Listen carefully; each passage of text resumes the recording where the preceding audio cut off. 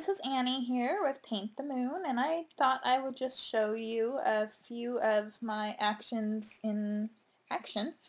Uh, this is going to be the apply texture action and the remove texture and keep texture color actions from the textures rock package. This um, package comes with all my texture collections and you can also purchase it separately to use with any other textures you may own. So I'm going to go ahead and hit play here on the apply texture. It tells me to open my texture file which is right here and hit play again and go back to my image that I want to apply the texture to and finish the action up and it tells me to resize it to fit my document. I'll just squeeze it up here and hit enter and it finishes up, applies everything.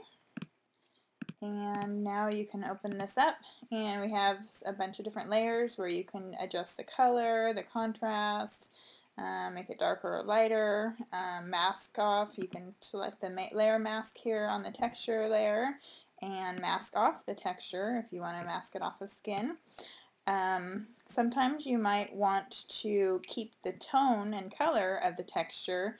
Uh, this one happens to have a very yellow tone to it and you see when I take the texture off of her face it also brings back the original color and the rest of the image is still very yellow from the texture. So if you want to avoid that and keep the uh, color of the texture but remove the, the actual texture, you can use this other action, remove texture and keep texture color.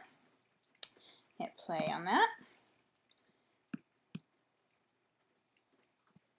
And now we have the original texture up here with a layer mask.